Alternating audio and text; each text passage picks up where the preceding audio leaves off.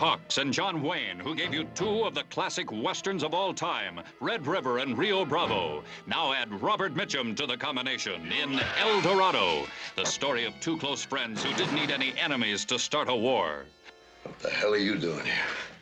I'm looking at a tin star with a drunk pinned on it.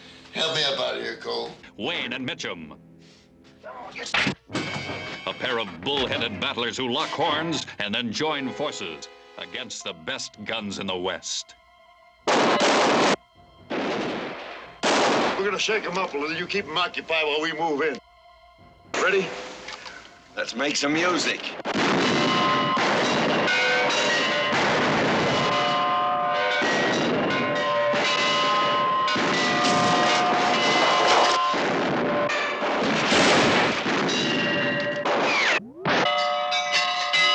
With them, Charlene Holt as Maudie, a fine figure of a woman who stretches friendship to the breaking point. I thought you'd forgotten all about me. I thought that You know something, Cole? I think we better get ourselves a new girl. Yeah. you better not.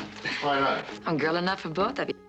A new young star, James Caan as Mississippi, who tries to take on the gunslingers with a knife. Plus a little help. Michelle Carey as Joey, part girl, part wildcat. Hold, just hold still now, miss. I, hold still. You're gonna lose your clothes. You keep that. I reckon you won't shoot any more little boys, mister.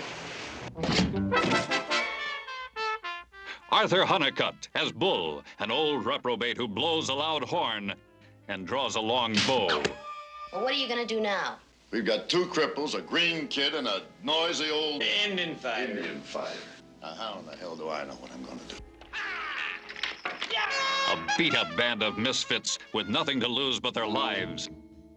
There's a little question unanswered between us. Which one of us is best? That's right.